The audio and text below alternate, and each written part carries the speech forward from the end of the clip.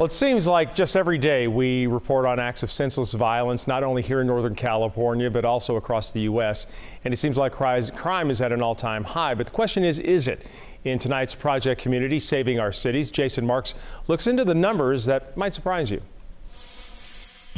The experts will tell you there's no magic wand to make crime go away. Probably not no. It's more complicated than that. If I knew it, I'd, I'd, you know, be famous, making lots of money. The University of the Pacific teacher, Jennifer Medel, isn't famous. And she's not rich. Researchers have been trying to figure that out for a long time. But she is really, really smart and one of those who's determined to find an answer. And if we think about different theories of why crime occurs, that might give some solutions or potential insight on how we respond to crime. Looking at trends, but again, same information, is crucial for anyone who's into criminal justice. When it gives us a broader picture of what crime looks like in the United States. Medel says in reality, crime is actually down. And we see, of course, that we had kind of our great crime peak um, in the 90s and that crime has been declining pretty, pretty steadily since then.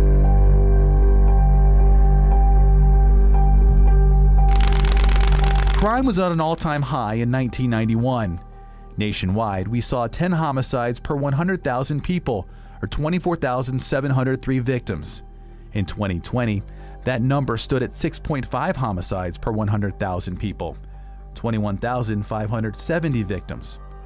Though the final numbers aren't in for 2021, it appears the rate has continued to rise, but Medel isn't sure it will continue. There is pretty good suggestion that this is going to be a blimp rather than a continued um, trend. So for starters, what made crime drop so significantly since 91? There's, there's a number of factors that come into play um, that's hard to point to any one single thing. Though she points to lower crack cocaine use, changes in law enforcement policing, and better economic conditions.